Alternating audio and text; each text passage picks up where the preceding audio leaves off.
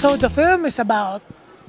So the story happens the last months of World War II, and we follow this young, innocent girl named Tala.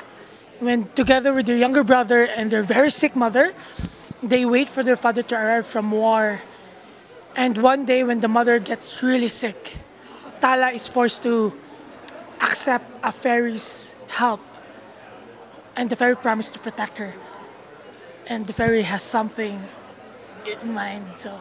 So I'm the fairy. I play the fairy, and I'm the one who presents herself as somewhat of a savior, somewhat um, the symbolism of hope in the whole movie. But at the same time, throughout the movie, you'll develop some kind of ill feelings toward her because you know she's not really there for hope and she's not really helping, but she's persistent and she's she just tries to get what she wants and what she needs from this little girl. Unfortunately, she really feasts on whatever is there. She's a flesh-eating fairy. Let's remember that. Uh, so she feasts. Yeah. So I wrote this story way, way back 2015 actually, as a short film. Because after I made my first short film, my mentor told me like maybe you need to make another short film before venturing to to feature films. And I wrote In My Mother's Skin and it's it was inspired by this French film called In My Skin. And I was watching Pan's Labyrinth at the same time. And the idea was like try to merge that idea, the two idea of like this fairy tale and this extreme horror film in France, just trying to combine and play around with it. But I forgot about it, made my first feature film in 2018 and rediscovered the concept late 2018 as well and and approached my producers like maybe we can play with this story yeah? i mean maybe we can make this movie but the difference between the short film and this feature film is the short film had no sense of time. I don't know what milieu uh, I really want to play. But then when the pandemic hits and I was talking and I was talking to my becomes more relevant Yeah. When the pan- actually when the pan- pandemic hits, I was talking to my father and he was telling the story of my grandfather, who was a guerrilla soldier in World War II. And he was telling me this, like the psychological impact of war, the claustrophobia, the depression, the anxiety, and this external enemy. And it really sounded so familiar during the pandemic.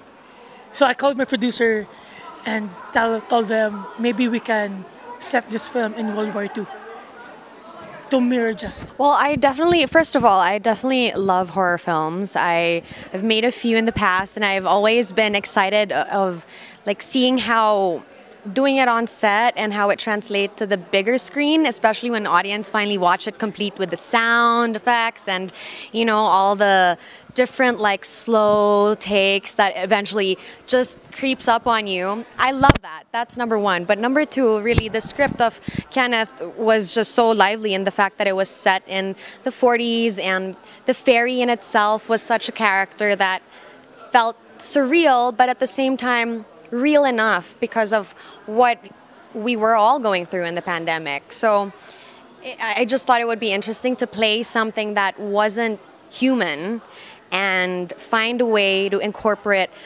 um, those pieces like the pandemic, the fear, the claustrophobia through her and through that entity. So, ooh, most because difficult. I'm curious now. Yeah, uh, I'm trying to think, and I think I've got it easy as the actress in the film because, I mean, the hard part, so to speak, in for my character would be wearing the layers of costume because it's a bit heavy, but honestly, like the whole journey for me was really easy. I didn't feel any difficulties. If there were any, they really did not make me feel it or not let us know or make us feel bothered by that. So, to be honest, I had no difficulty. I mean, if anything, it's like just making sure that I could deliver precisely to what Kenneth was looking for in the fairy and being consistent with that, especially the modulation of the voice. I wanted to be consistent with that because you could easily forget tomorrow what the tone you used yesterday was, or how low and how freaky or slow, or, you know, so that was something we would watch out for all the time.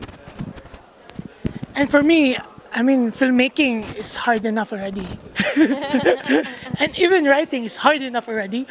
But in production, uh, everything's compromised. But I'm so happy what, you know, what, what it is now. Like, because I was trying to, trying to play around with the idea of um, making the film, during the production, making the film simple because of the compromises and I wanted to we, we I, I didn't want to delete some scenes just because of like we don't have time. I want if we delete scenes let's make it intentional. And I think that's the hardest part for me because you're killing your darlings already. And I think that's that's the fun part of filmmaking. You start to create something new create something create something like you didn't think before and it's really amazing for me to discover these ideas with the people I work with, which I love. Like working with these people is really amazing.